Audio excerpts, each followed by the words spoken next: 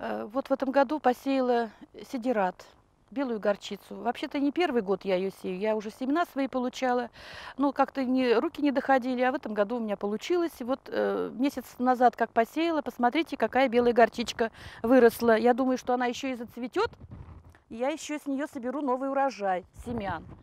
Э, Срок годности у семян, вот они у меня пролежали три года, и прекрасная всхожесть стопроцентная. Я рассчитываю, что в этом году я перекопаю, заделаю в почву, и у меня почва здесь намного будет э, здоровее.